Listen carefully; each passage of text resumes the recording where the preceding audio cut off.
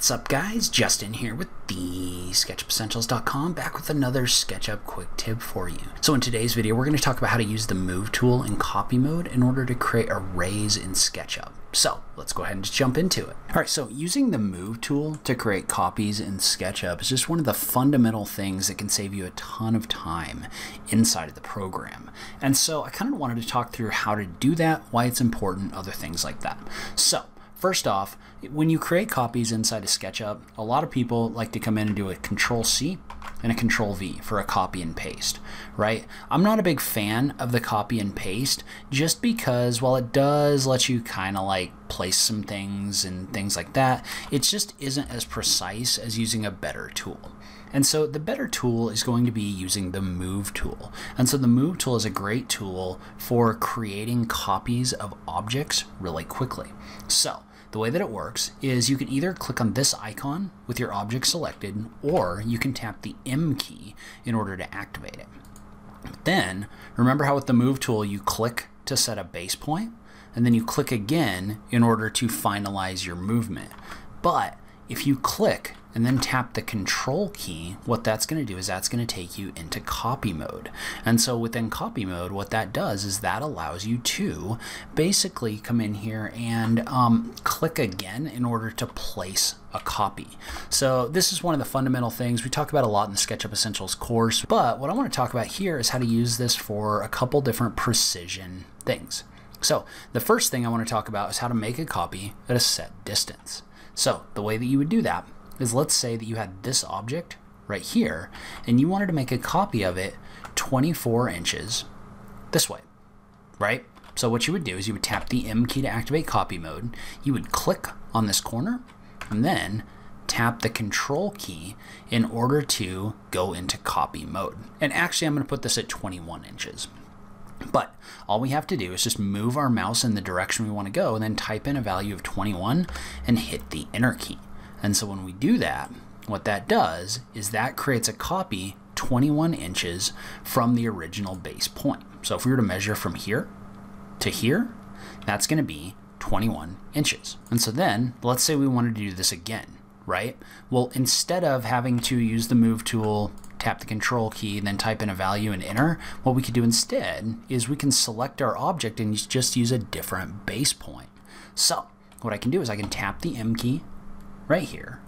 And I can just set my base point all the way over here. So if I set my base point all the way over here, I'm setting a base point that's 21 inches away from my object.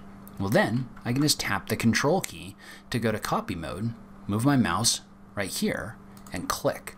And so when I click, notice what that's going to do is that's going to place this second object right here. And so now what we want to do is we want to take a look at what would happen if we were to try to create multiple copies at once. So the way that's going to work is I'm going to start by positioning this board on the top. Actually, we'll do this one. So we're just going to move this so that it's positioned right here. And actually, we're probably going to want this point right here. And then we're just going to use the rotate tool in order to rotate that 90 degrees. And so first off, let's go ahead and make sure that our lengths match. So I'm just going to move this so that it aligns with my midpoint, move this so that it aligns with my endpoint. And so in this case, what we're going to do is we're just going to use the move tool in copy mode in order to place this right here. And then we need to align this object so that it matches up right here. So we're just going to move this, and for right now, we'll just put it right here. We'll drop it down like this. And let's say we want the spacing to be, we'll call it four inches off of this piece right here. And so what I want to do is I want to create some copies of this object, but I want to create multiple different copies, right? And so there's two ways we could do this. First, we could use a multi multiplication array to do this. So what we would do is we would select this object, tap the M key, and then click on this corner, and then tap the control key like this. So then when we click, what that's going to do is that's going to place a copy of this object. Now I haven't clicked or touched anything else, right? This tool is still live. So what I'm going to do now is I'm going to type in star, and in this case that means times, and we're going to type in 3 and hit the enter key. Well, notice how when we use 3 to hit the enter key, what that did is that created three equally spaced copies in here.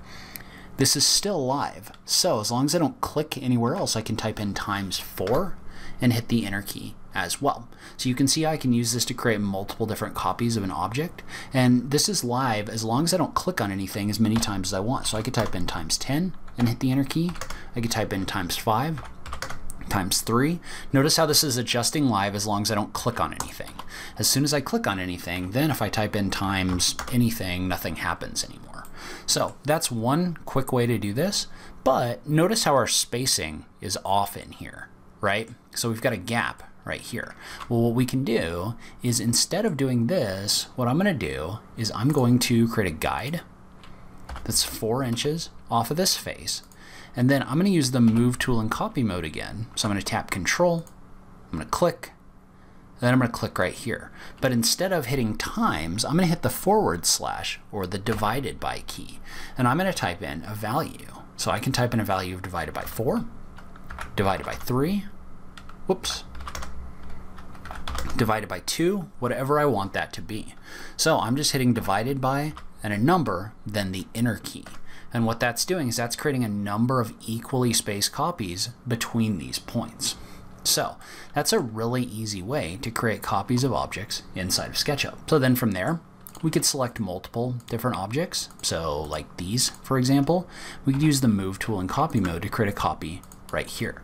So notice how this allows us to really quickly create this object in SketchUp. All right, so I will link to another video in this quick tips series on this page. In addition, if you are interested in learning more about SketchUp, so you really want to get in depth with the program and really kind of take your skills to a level where you feel comfortable working in the software, I'd really encourage you to check out the SketchUp Essentials course. The SketchUp Essentials course is my detailed step-by-step -step course where I've put together curriculum specifically to help you go from start to finish learning the program um, so that you don't get stuck. I've also added a community forum in there where you can communicate with other students in the course as well as ask me questions.